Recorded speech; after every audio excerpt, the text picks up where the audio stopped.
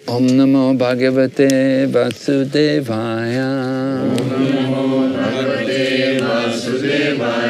ओम नमो भगवते वासुदेवाय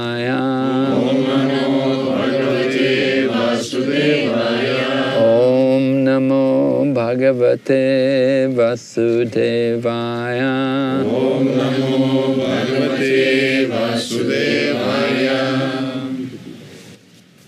So, being here in this environment, surrounded with all these trees, I'm thinking about the pastime which took place in Vrindavan. What happened was the Yagnapatnis had come to Krishna. You remember the pastime? The cowherd boys were hungry one morning and they went to the brahmanas, to the yagnik brahmanas, to ask for food, and they just totally ignored them. The cowherd boys come back and told Krishna, and Lord Krishna told them, go to their wives, go to the Yagnapatnis. And when they went there, the Yagnapatnis immediately came running with all the things which they had prepared for the yagya. And of course, the Yagnapatnis, they wanted to stay with Krishna. They didn't want to go back to their husbands. But Lord Krishna said, No, no, you have to go back. You have to go and stay with your husbands. And don't worry, your husbands will take you back. Although they left their husbands to go to Krishna, they could go back. So just after that incident, Lord Krishna is praising the trees and he's talking about how magnanimous the trees are. He said, How magnanimous all these trees are because they're giving their mercy to everyone.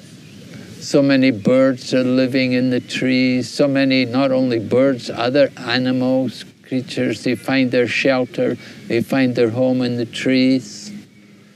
And human beings also can take shelter if it's if there's rain or if the sun's too hot, we can go under the shade of the tree. And at the same time, the tree provides fuel, the wood, wood for fire. And so many leaves also falling from the tree. The leaves are also useful for so many different purposes. The birds will take the leaves and make nests. And sometimes people will collect the leaves and sew them together, make plates to eat prasadam off of. So everything has its purpose. The farmers will collect the leaves, use them for fertilizer on the field. So the trees are very benevolent, very magnanimous. Lord Krishna was talking about the trees because he saw how the brahmanas, these brahmanas were not benevolent. They were not very compassionate or kind. They didn't want to even recognize the cowherd boys when they came there. They just ignored them. And of course, after their wives came back, the, the brahmanas were lamenting. They understood their bad fortune, their, how unfortunate they were, that they were not able to take advantage of the mercy of Lord Krishna. So the trees are glorified by Krishna.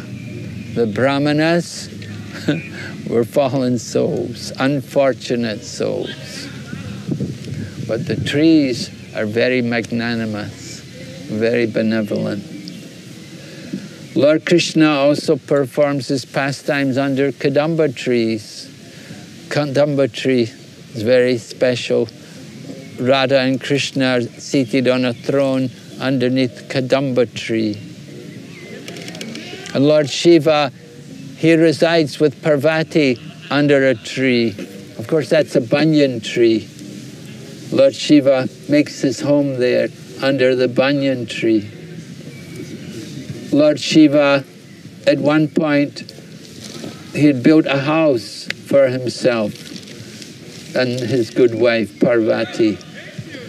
But in order to move into the house, they had to first do the Griha Pravesh. So all the brahmanas came and they did the Griha Pravesh. And after they did Griha Pravesh, they said, now you have to give us some charity. But Lord Shiva said, well, I don't have anything. It's, I just have the house. So they began to take the house. they took all the different bricks, the different gold and everything, which Lord Shiva had used for the house. And so ended up there was no house left. so Lord Shiva thought no need to build another house. So he's happy. Although his wife is the controller of the material energy, they live under a tree and they're happy there. The trees, the home for such great personalities. And Lord Chaitanya also tells us we should take the example of the tree for tolerance, that we're encouraged to be as tolerant as the tree. Just as the trees tolerate the heat and the cold and the wind and the rain, and they tolerate people coming and cutting their branches and taking away so many things from the tree, the leaves, the flowers, the fruits. People will come, take what they can get, but the tree tolerates. So Lord Chaitanya says we should also be tolerant like the tree. Tolerance is an important quality of the Vaishnava. We lost a devotee when I was in Stockholm. Uh, the, just the day before, I well, I spent the night in the Stockholm center where Tapas Prabhu is staying, and uh, just the day before, one of my godbrothers, a person called Advaita Acharya Das, departed from the world. So he was uh, he was from the UK. He joined very early, 1973, I think he came to Krishna consciousness. Uh, so he was a very sweet devotee, and he had the habit to write poetry. He was poetic. So I was telling the devotees how in the Srimad Bhagavatam it describes how the four Kumaras were entering into Vaikuntha. And there's a big description about Vaikuntha there. It's in the third canto, chapter uh, 15, I think it is. So the four Kumaras are entering into Vaikuntha. And there's an extensive description about the nature of life in Vaikuntha. And Srila Prabhupada also comments about the qualification to enter into Vaikuntha. And he says, qualification is that you should have the good qualities. You have to have, like, there's 26 qualities of a Vaishnava. So if you have these good qualities, it's a great asset to open the doors to Vaikuntha if you're blessed with these qualities. So I was telling how I thought this devotee, Advaita Acharya Prabhu, that he had nice qualities, including poetic. And it's very helpful. I said it must have been very helpful for him for his next birth. If not, if he didn't go back to Godhead, then I'm sure he must have taken a very good birth in a Vaishnava family so that he could finish his season, his time in the material world before going back to Godhead. So in the spiritual world, there are many trees also. In Vaikuntha, there's many trees. And trees are also souls, they're also spirit souls. Here in the material world, these trees, well, Lord Krishna was saying, they're magnanimous.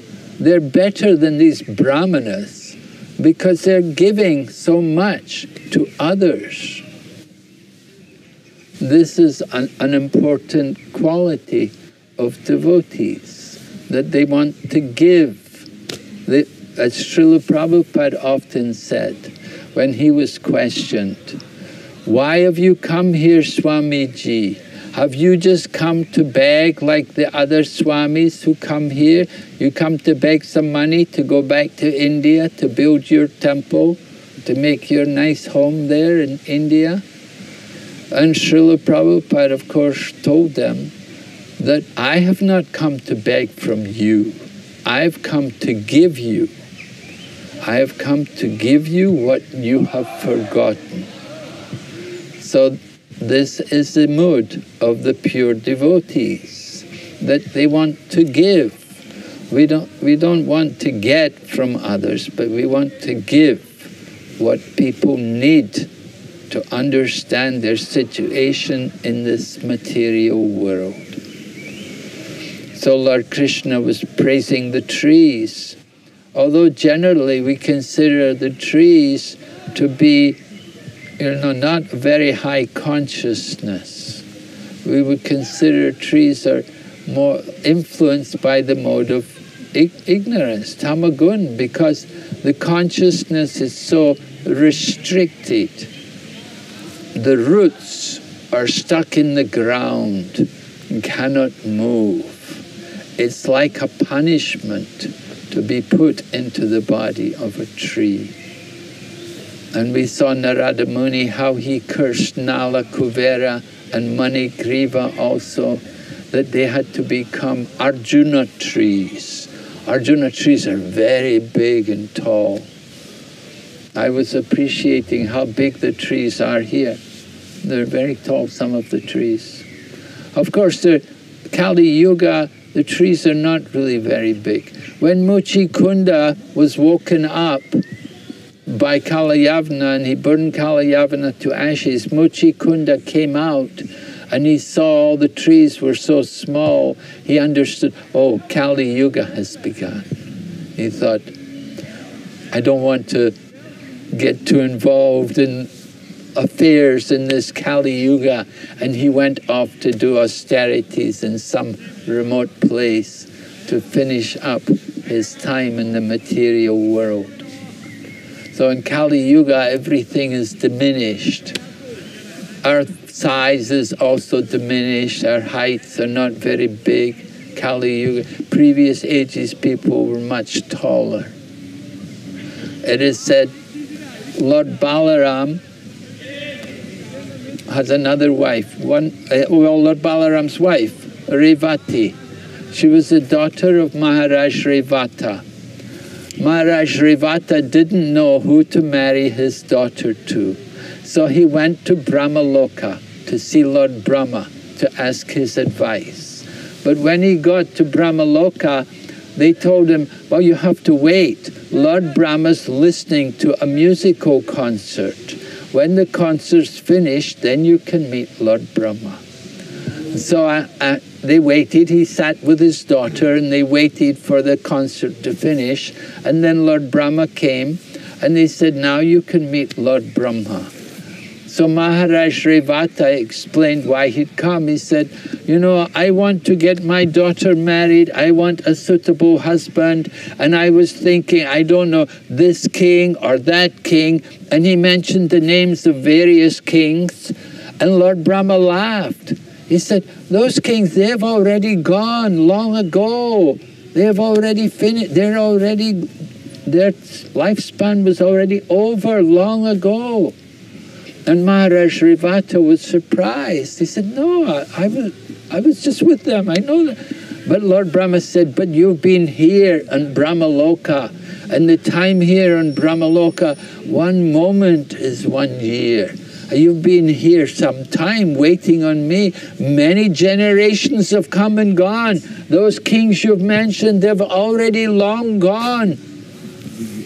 And so Maharaj Revata said, then what to do? What about my daughter? And Maharaj Revata said, go back to earth, the personality of Godhead, Lord Balaram is there, and he will make a good husband for your daughter. So that was, of course, very nice news.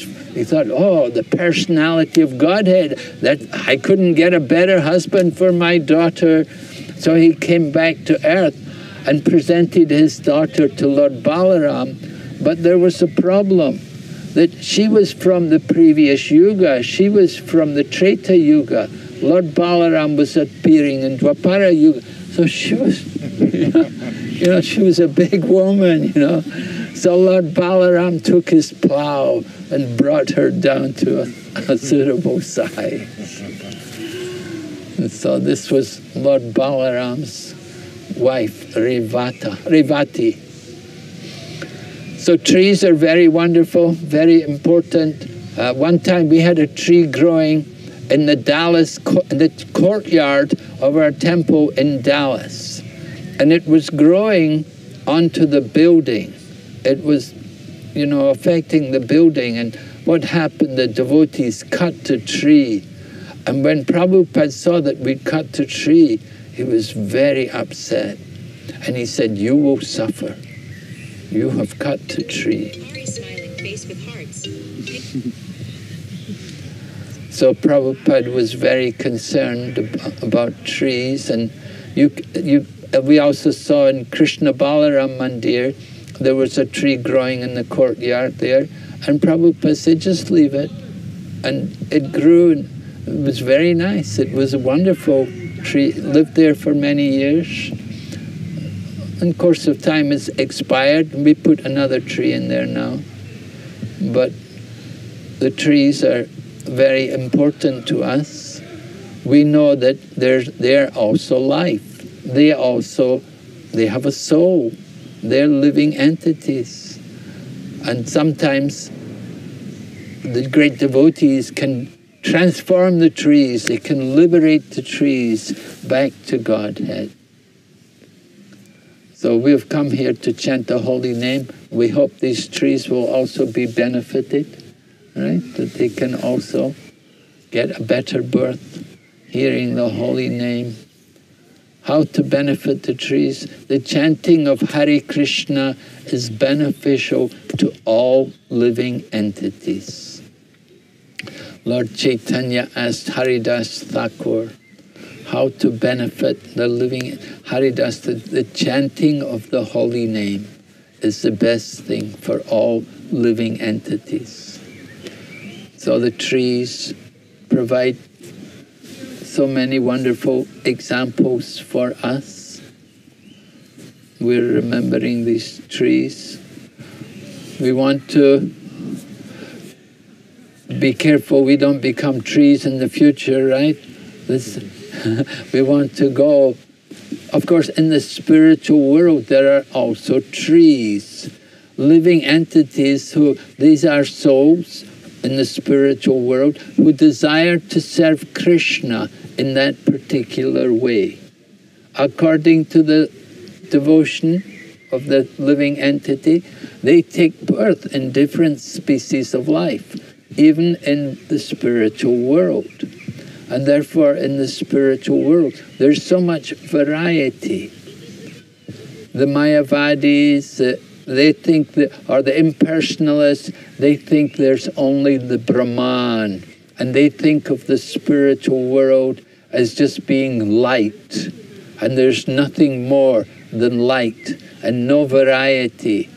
But the devotees see things in a different way we have information from our scriptures that there's so much variety there in the spiritual world.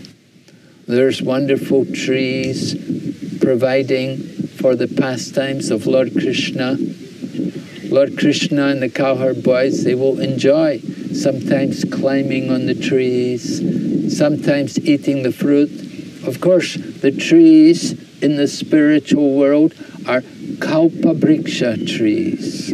They can produce anything the person desires, all different varieties of fruits, regardless of the season. So kalpabriksha trees, very very nice to have some kalpabriksha trees and we could have nice fruits to offer all year round to Gornitai to please the deities. We have to make the best with what is provided for us here in this material world. So we're trying to encourage people to plant trees and grow nice, let trees grow, let them grow nice. They provide so much shelter and so much inspiration for people. The trees of Vrindavan, they're all very special souls. Just like the people in Vrindavan. Not only the people in Vrindavan are special, Dhamvasis, the trees are also Dhamvasis. That they, have, they live in the Holy Land for a long time. Uddhava, when he uh, went to Vrindavan and met with Lord Krishna, and, well, not with Krishna, but with all the gopis and Srimati Radharani, then Uddhava, after he had met them, he he thought to himself, if I can become a creeper or a tiny plant or grass in the holy dham, it will be very fortunate for me. And because then I can get the dust from the feet of these devotees. So similarly, these trees who live in the holy dham, they're so fortunate. Uh, we should be very careful, never to damage them, never to break any branches from them or anything, but to re respect them and to embrace them and get the touch of these living entities, the touch of the tree, embracing the trees can also just just like the touch of the pure devotees, it can purify us from this material existence. So remembering all these different pastimes, we offer our respects and try to understand all of these wonderful trees which are growing here, how they've witnessed so many activities, so many souls have come here and gone, and now the devotees have also come and brought the holy name. And sometimes you will see the trees, sometimes they're so pious, they will shed the leaves that in ecstasy, just like the living entities, their bodies stand on end and the hair standing on end, horripilations within the body. The trees also sometimes feel ecstasy and the leaves begin to fall from the trees in ecstasy, hearing the chanting of the holy name.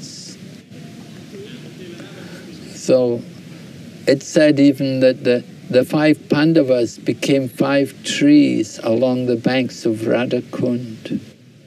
I've read in uh, Navadvip, and Vrindavan Mahatmya describes like that, that the five Pandavas, that they also became trees.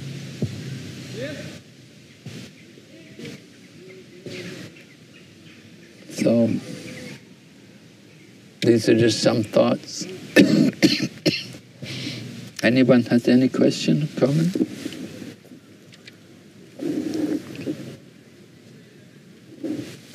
So when is one allowed to cut trees? Or not? I probably didn't want us to cut trees, but then again.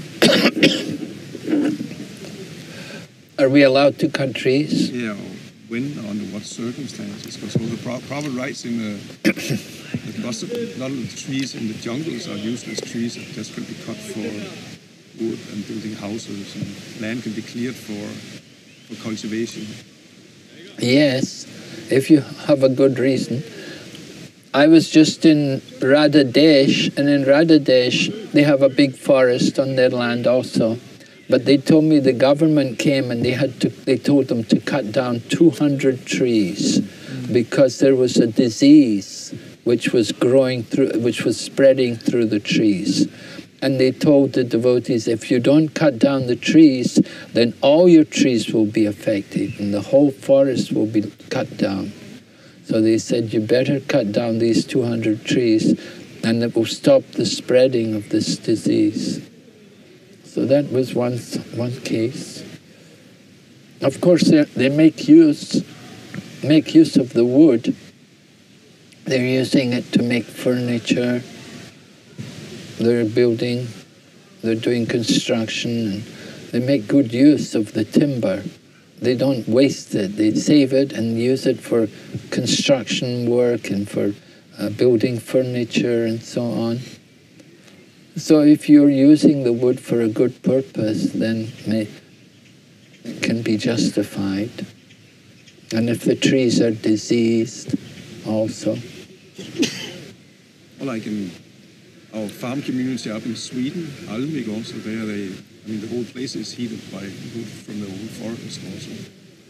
Yes, so. right. Yeah, for, for the heating, yes, the, that's right. Well, the same there in Radhadesh, they also use the wood for heating. Mm. Yeah, quite. So that's a good use, make, making use of the wood to heat the temple for Krishna. So that's also allowed. You can do like that. Mm. Maros, I heard you speaking about these five trees on the banks of um. But I heard that four of them on Paris, no pan bis pan dawas rozani That's true, or did you hear something about I don't know. I haven't heard. Maybe. Anybody know? When you spoke about prominent trees, I remembered the tree at the Kaliaghat. Mm. Kaliaghat tree. Mm-hmm. Krishna, what jump? Maybe you can tell a couple of words about this tree. Kaliaghat. Krishna jumped from the tree and into still, the. Still huh? there, and he's still there, yeah? The yeah. tree. I mean, is it still there? Yeah. The son of that original tree, or some relatives.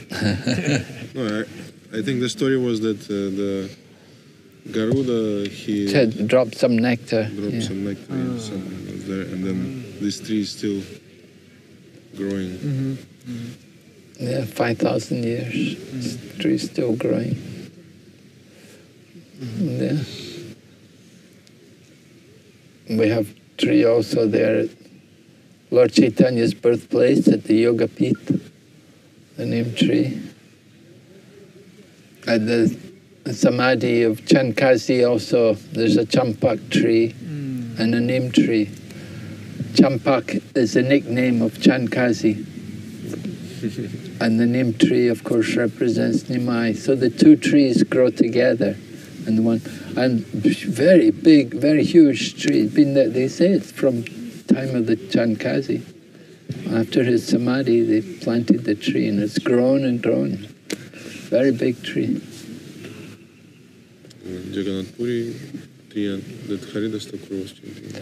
That's a Baku. Yeah, the Siddha Baku. Yeah. And uh, there's a tree also at uh, Saranga Murari's place, Mamagachi. At Mamagachi, there's a special tree. He said Lord Chaitanya took some pen and planted it in the ground, and from that this tree came out. And nobody knows what type of tree this is. That there's nobody ever found out any other tree like this tree that came from Lord Chaitanya Mahaprabhu. Mm. Is this true that, I mean, simple trees is uh, in, they been in the previous life like prostitute? Well, we know that the, Narada Muni put the two sons of Kuvera into the body of trees. He th- considered it to be the, a punishment for them. Mm. So, and we often also say that, that in the body of trees, that it's souls being punished, that they're put into that kind of mm-hmm. condition as a punishment for certain activities.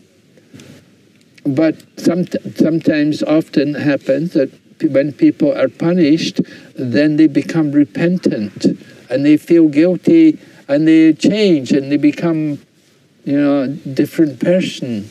And sometimes punishing people helps them. So similarly, you get trees which are often pious and very magnanimous and they're giving so much to others. So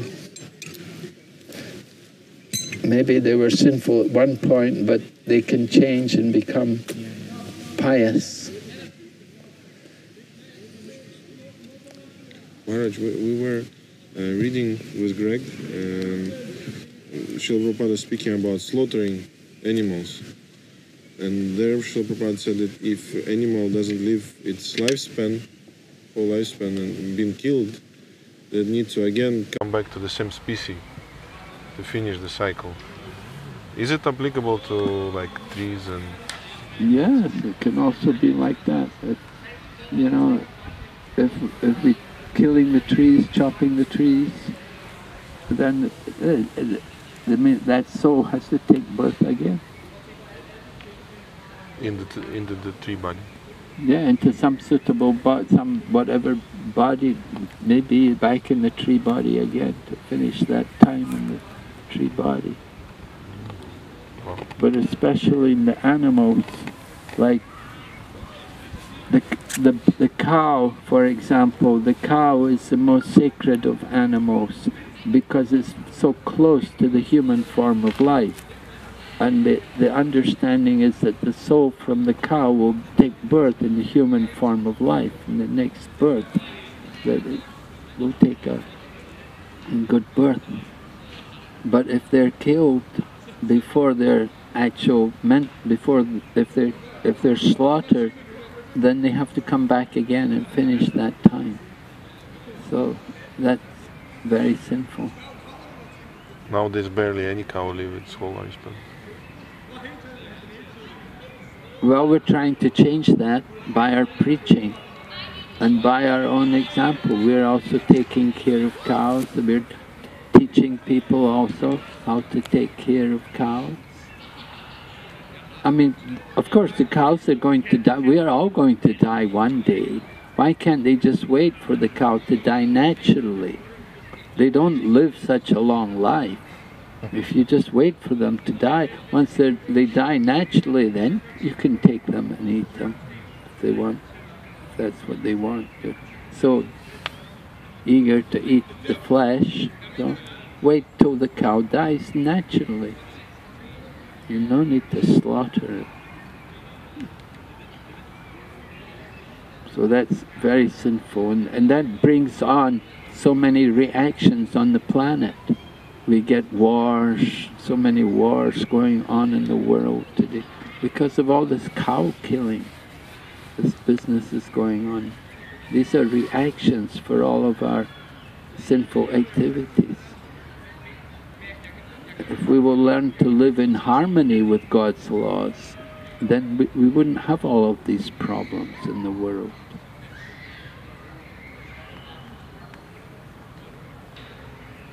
Maharaj, you, you also mentioned um, uh, that uh, wives of Brahmanas, they came to Krishna and he sent them back.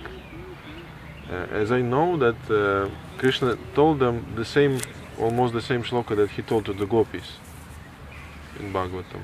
So, uh, but gopis didn't didn't went back. They stayed, but brahmana wives they. Well, gopis stayed to dance rasa lila. They stayed for the rasa dance, and then then they went back. not, not like they never went back, but they, they, but they stayed the night to dance rasa lila, and then they went. But the the wives of the brahmanas they went back. So what is the difference between these two groups? Why gopis was more determined?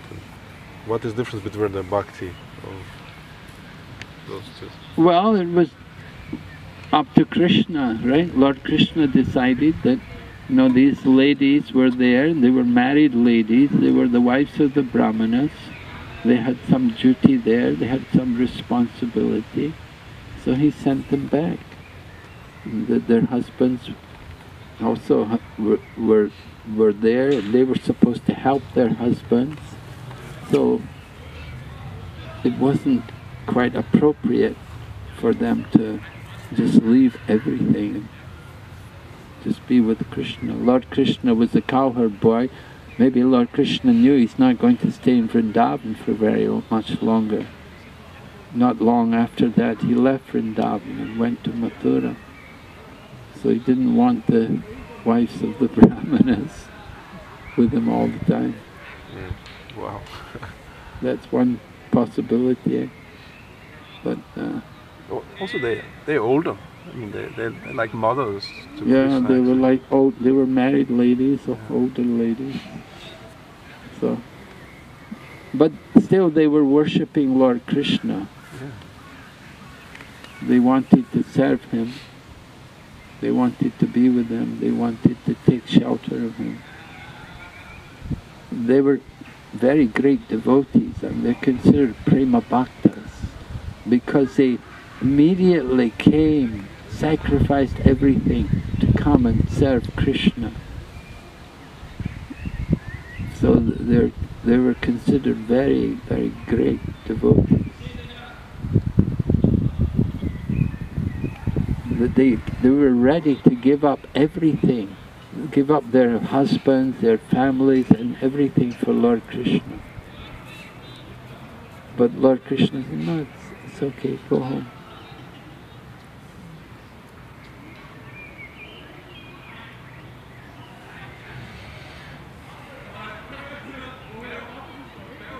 So that that led to Lord Krishna talking about the trees, how they were so magnanimous, because he was thinking how the Brahmanas are so different. they're, they're callous, cold-hearted. Of course, they were they were just doing some karma kandi yagya. They were karma kandi brahmanas. Most of the brahmanas today are karma kandi brahmanas. They do rituals for material benefit. So they were engaged in that kind of thing.